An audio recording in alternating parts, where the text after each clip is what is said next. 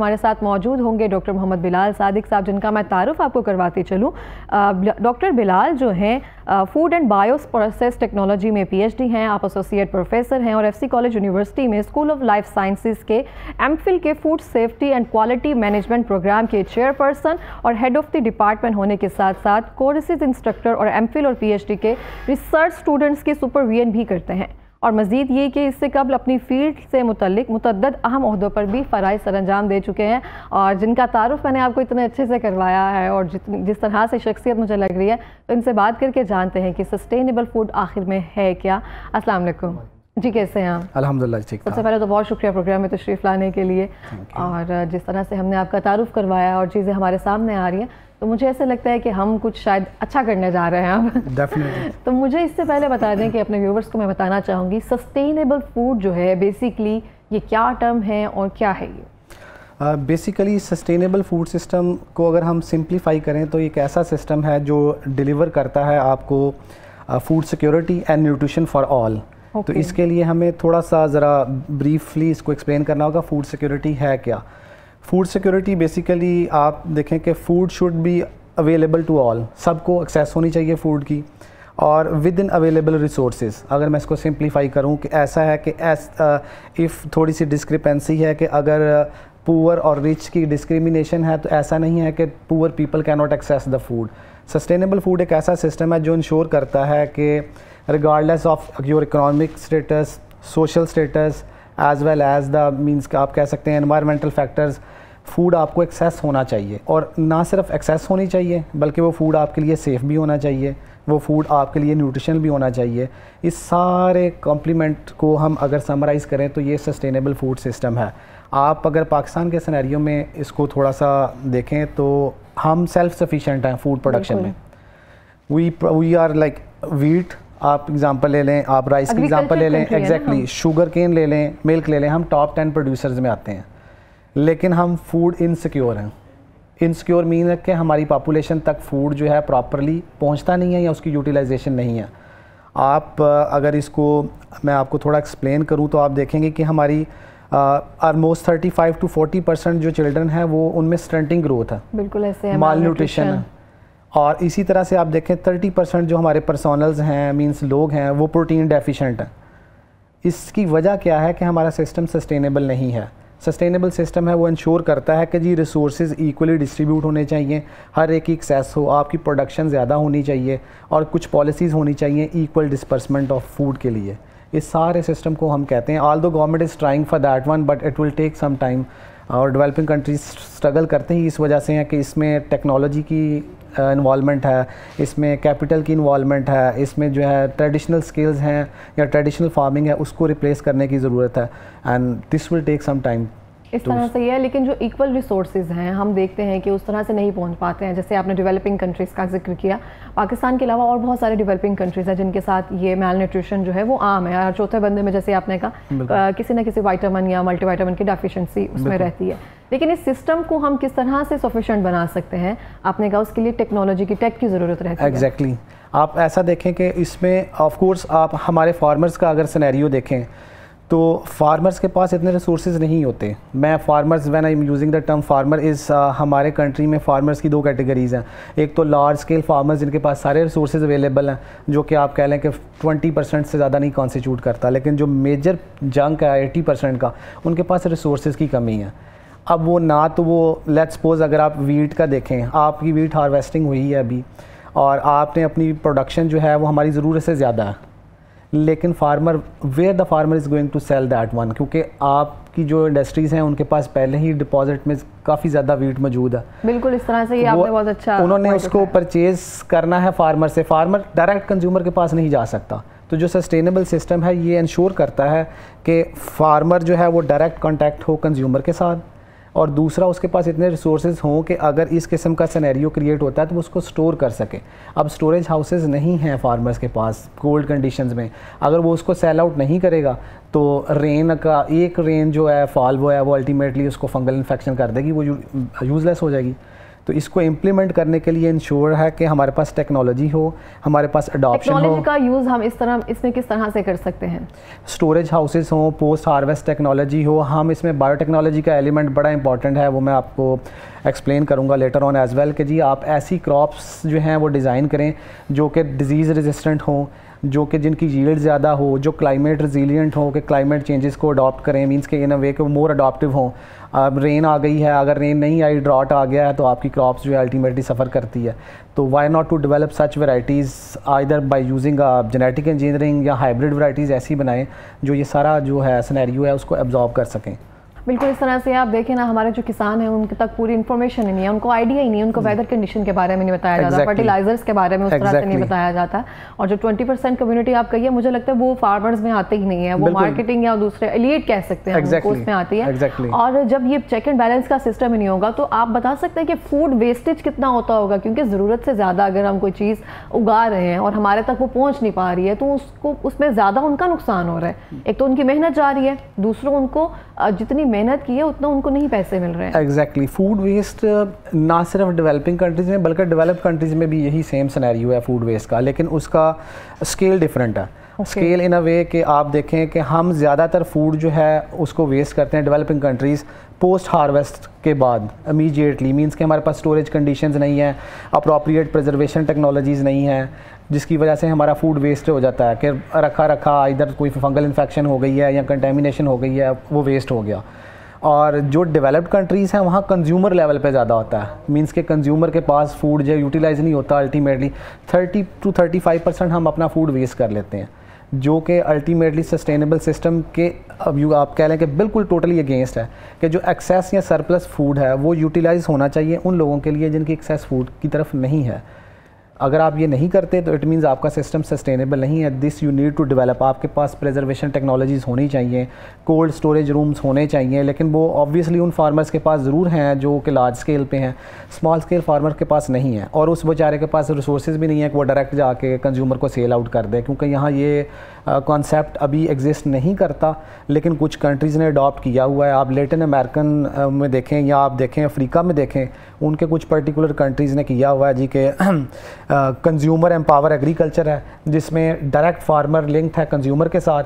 Consumer को भी पता है कि जी मैंने फार्मर से लेना है और फार्मर को भी पता है मेरी इतनी डिमांड है I need to produce this much और जैसे ही मैं प्रोड्यूस करूँगा ये डिसिमिनेट हो जाएगा और मुझे इतने रिसोर्सेज वापस मिल जाएँगे। हमारे यहाँ ये अभी अंडर प्रोसेस है। ठीक है बिलाल मुझे बताइए जैसे हम आपको हमें पता है कि हम एग्रीकल्चर कंट्री हैं और हमारा जो ज़रात पर हम इन्हें करते हैं। जी जी। और लेकिन ये देखें ना कोई नई चीज़ हो तो हमें लगता है कि अभी स्टोरेज बनाने हैं वेयर हाउसेज बनाने हैं उसका प्रिजर्वेशन का कोई तरीकाकार अपनाना है।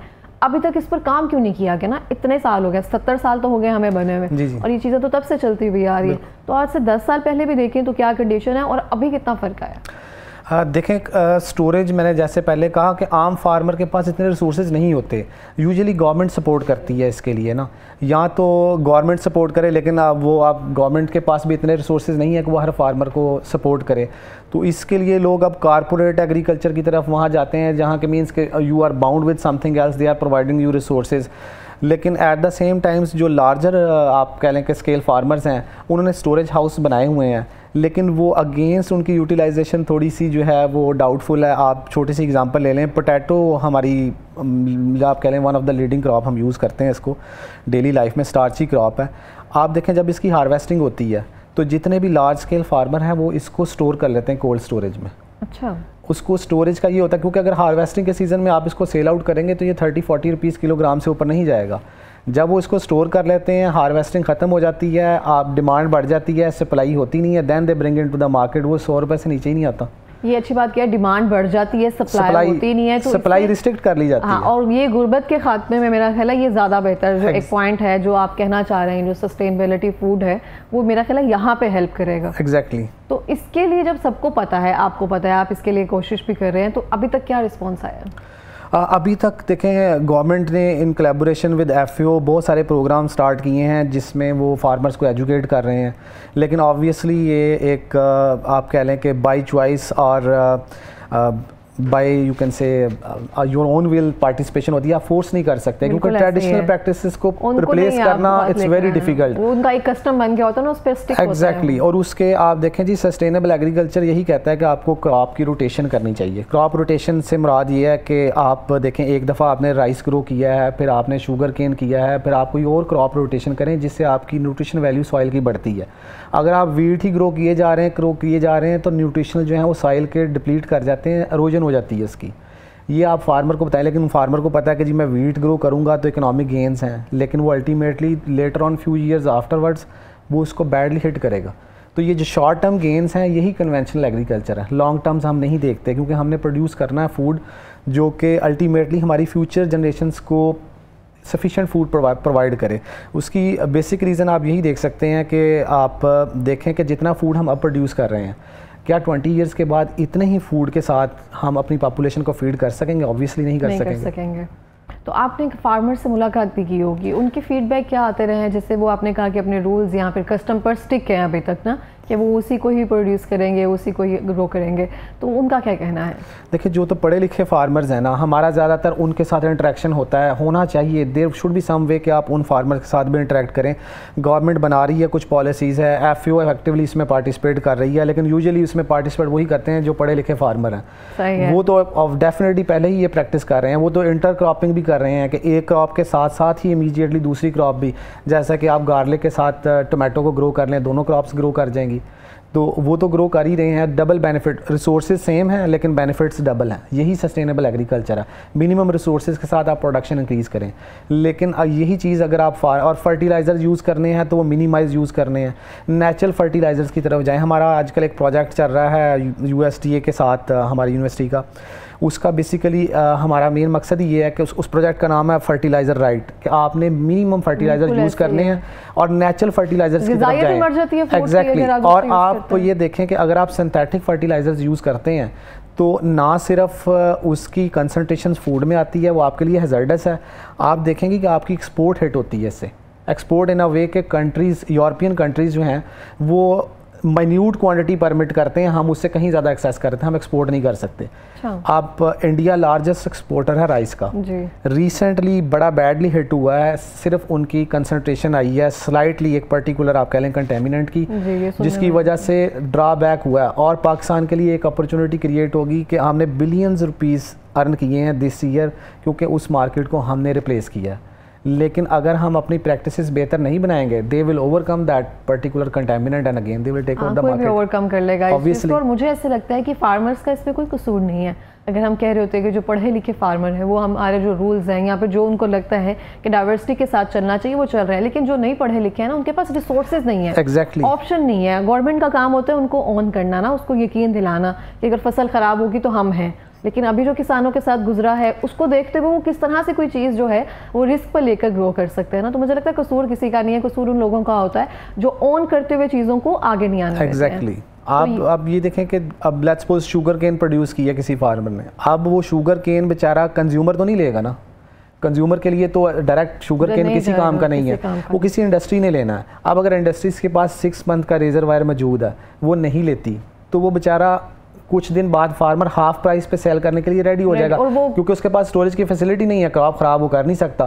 तो उसने बेचारे ने तो बेचनी बेचनी है। और ये चीज़ें जो है फैक्ट्रीज मालिकान को पता होती है जी जी बिल्कुल। कहाँ पे हम उनका वीक पॉइंट और कहाँ पे जाकर हमने करना exactly. तो हम हर कोई जो है अपने मफाद के लिए काम कर रहा है। अगर हम देखें किसान जो है हमारे मुल्क का एक हिस्सा है जो हमें जो खुराक जो है वो प्रोवाइड कर रहे होते हैं हमें आगे जाने के लिए लेकिन हम उनको उनके जो बेसिक राइट्स है वो नहीं दे रहे होते हैं। तो अलग राइट जो है वो हम कैसे उनको प्रोवाइड कर सकेंगे? अच्छा बिलाल आपने ज़िक्र किया कि यहाँ पे टेक्नोलॉजी यूज़ होगी टेक हम टेक यूज़ करके सस्टेनेबिलिटी जो फ़ूड है उसको कायम रख सकते हैं। टेक का इसमें क्या काम है? देखिए अब सस्टेनेबल सिस्टम में आप देखें कि प्रसीजन एग्रीकल्चर है। प्रसीजन एग्रीकल्चर से मुराद है कि आप फर्टिलाइज़र यूज़ करें जितना आपको चाहिए मिनिमम okay. आप देखें हमने अभी ट्रायल किए ही हैं हमारी एक एग्रीकल्चर बायोटेक्नोलॉजी की टीम है हमारे डिपार्टमेंट में they are very much involve in this कि आप बायो फर्टिलाइज़र यूज़ करें जो कि माइक्रोबियल कंसोर्शियम पे बेस करता है। और उसके मुकाबले में आप सिंथेटिक करें। जील्ड में कोई ख़ास फ़र्क नहीं आता लेकिन जो कंटेमिनेंट्स हैं जो सिंथेटिक रेमेडीज़ हैं वो नहीं आती उसके अंदर ना। तो अल्टीमेटली ये आपको एजुकेट करने की ज़रूरत है कि आपने फर्टिलाइज़र राइट यूज़ करना है।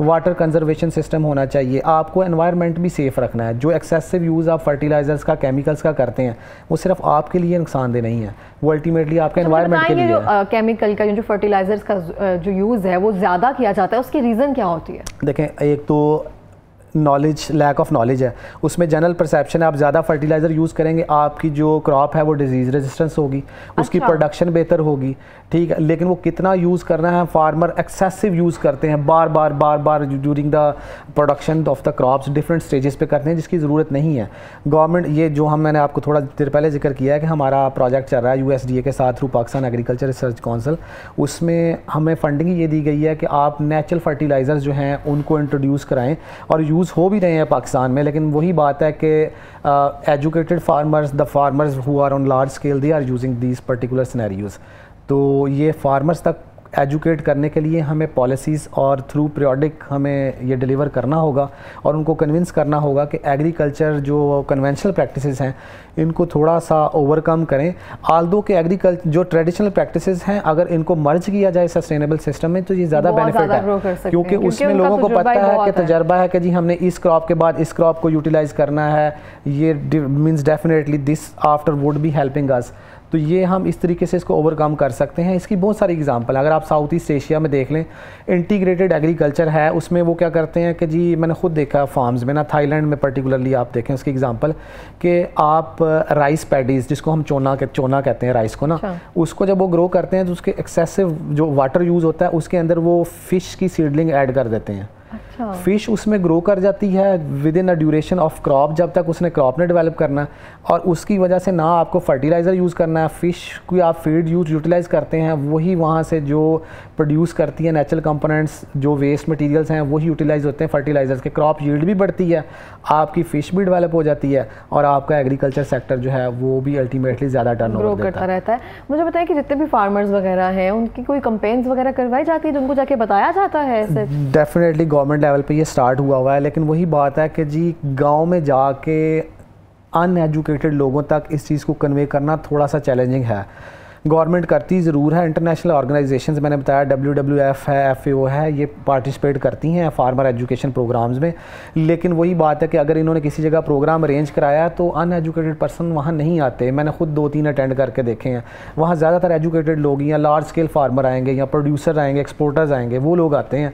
लेकिन आम फार्मर तक डिलीवर करने के लिए I think we need to make a policy थोड़ा सा टाइम लगेगा लेकिन डेफिनेटली लोगों को अब आइडिया है इस चीज़ का कि if they want to sustain और to produce more you can say production definitely they have to adopt this sustainable system लेकिन अगर ये सिस्टम प्रोड्यूसर्स तक यहाँ जो दूसरे लेवल के फार्मर्स हैं उन तक चला गया ना तो मुझे लगता है कि दूसरे फार्मर्स तक भी जाएगा। बिल्कुल जाएगा। क्योंकि हम सुनने से ज़्यादा ना देखने पे बिलीव रखते हैं। जब पता चलता है ना कि कोई फार्मर इस तरह से करना है, वो ऑटोमेटिकली उसको अडॉप्ट करने की कोशिश ज़रूर करते हैं एग्जैक्टली exactly. और जो लार्ज स्केल हैं उनमें से कुछ लोग बना भी रहे हैं इस तरह से कॉरपोरेट फ़ार्मिंग करके वो स्मॉल स्केल फार्मर्स को इन्वॉल्व कर रहे हैं कि वो अपने लैंड को इन्वॉल्व कराएँ प्रैक्टिस करें शेयरिंग पे आएँ ताकि कुछ बेहतर प्रोडक्शन की जाए। इससे में दोनों का बेनिफिट है। तो ये आहिस्ता आहिस्ता टेक ओवर कर लेगा। डेवलप कंट्रीज़ में भी ऐसा ही है। आप तो काम बहुत ज़बरदस्त कर रहे हैं। मुझे एक बार अपनी यूनिवर्सिटी या जो आपके डिपार्टमेंट हैं वो इस सिलसिले में अभी तक क्या जो है सारा काम कर चुकी है उसके बारे में मैं मैं बता देता हूँ जी हमारा जो पर्टिकुलरली एक हमारे डिपार्ट हमारे स्कूल में ना थ्री डिफरेंट डोमेन्स पे हम लोग काम करते हैं। एक मेडिकल बायोटेक्नोलॉजी है एक बेसिकली बायोटेक्नोलॉजी की डोमेन है एग्रीकल्चर बायोटेक्नोलॉजी की एक food safety and quality management में है।